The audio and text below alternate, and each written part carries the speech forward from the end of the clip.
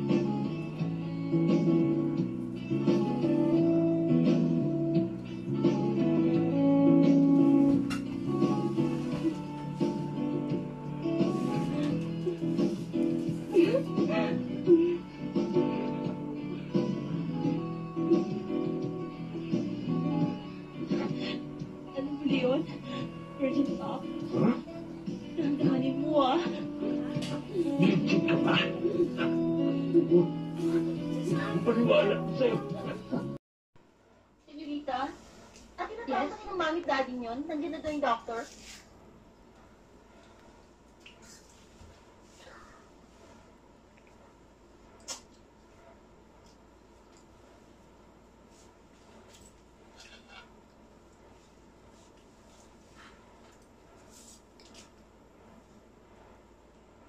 Wendy, Jo? Daddy? Mami?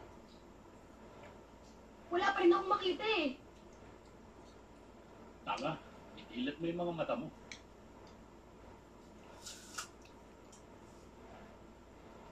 Oh,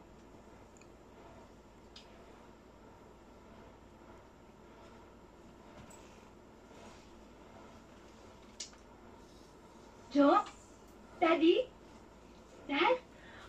Mami? Nakita mo na kayo.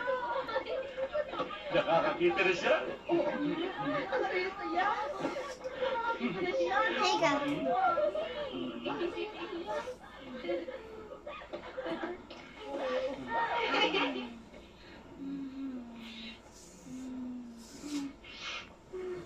Ah, Doc? Doc, excuse Ah. me. Ah,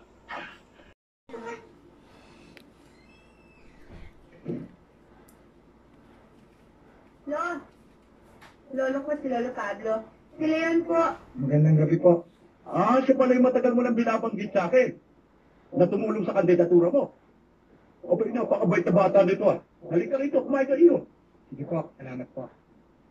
Tsaka si Ate Mia, kapatid ko. Sensya ka na kasi mula bata pa kami. Ilagay siya. Ay, bulag. Hi, Leon. Kamusta ka na? Halika, kain ka.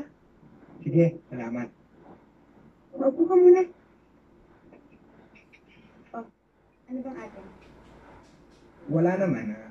gusto ko lang sana magpaalam sa'yo dahil ah, sa Maynila na ako mag-aaral. Gusto ko sana maging isang pulis at uh, maglingkod sa bayan. Sa bagay, bawat tao naman talaga may sarili-sariling pangarap sa buhay. eh. Kung talagang gusto mong maglingkod sa bayan bilang isang alagad ng batas, pinagkarangalan ko rin. Salamat naman at naintindihan mo ako. Pag-aralan mo muna mabuti, Leon. Hindi madaling maging pulis. Kinakailangan dyan ang determinasyon. Diyan ang gagaling ang tukso. Hindi ko sinasabing masama ang mga pulis. Diyan din ako nanggaling. Pero buhat mong magretiro ako, hindi na dumisan kahit konti ang aking uniforme. At ang Huwag po kayong mag-alala. Kung magtagumpay man po ako sa aking profesyon at maging isang ganap na pulis, ipinapangako ko po sa inyo, ang bakas niyo po ang aking susundan. sana nga iyo. Bo, ano magpahinga? Christine, magpapahinga na raw itong ate mo. Sige ho. Halika na. Kaya nga pala, tsokolate at bulaklak, pinabibigay sa ni Rebel. At sana, Ano, ano? Oh, sige na ito na lang. Yan naman, naghihirap si congressman eh. Para naman, hindi mo na kilala niya eh. Eh, kakay ng bote pa lang ako. Wala pa akong tama eh. Mamaya maghintay kayo. Pag ako nakarami na, tamang-tama na to na ko mamaya. Puro ka pa nga ako eh. Eh, nakakailang bote ka na ba? Ako, kahit na bote pa ang ubusin mo, Wala ka pa rin sa tono. Tama to. Basta maghintay lang kayo mamaya. Pag ako nakarami na may tama na ako, tama-tama na ang tono ko. Tama na! Tama! Tama ka na!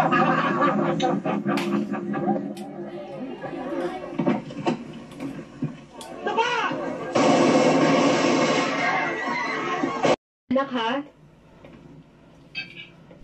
Oh, huwag mo sabihin hindi ka na naman dito kakain. May emergency call kasi sa headquarters eh. Kailangan pumunta ka agad doon. Ito nga anak mo, halos hindi mo na makita eh. Anim na taon na si Boogie, nakakaintindi na to. Kahapon na, graduation niya eh. Sabi niya, siya lang walang papa. Eh di, ikaw na ang bahala dito. Ikaw ang nakakaintindi. Ikaw na ang mag-explain sa kanya kung ano nature ng trabaho ko. Kaya mo yan. Hmm. Ang sabihin mo, hindi kami ang priority mo. Kaumpisa lang ng araw ko. Sorry na. Okay? Babawi na lang susunod. Kain lang na kain. Babay, Papa. Sige. Hoy! Tignan mo tong lalaking to. Sa mga nanay kami matutulog ba?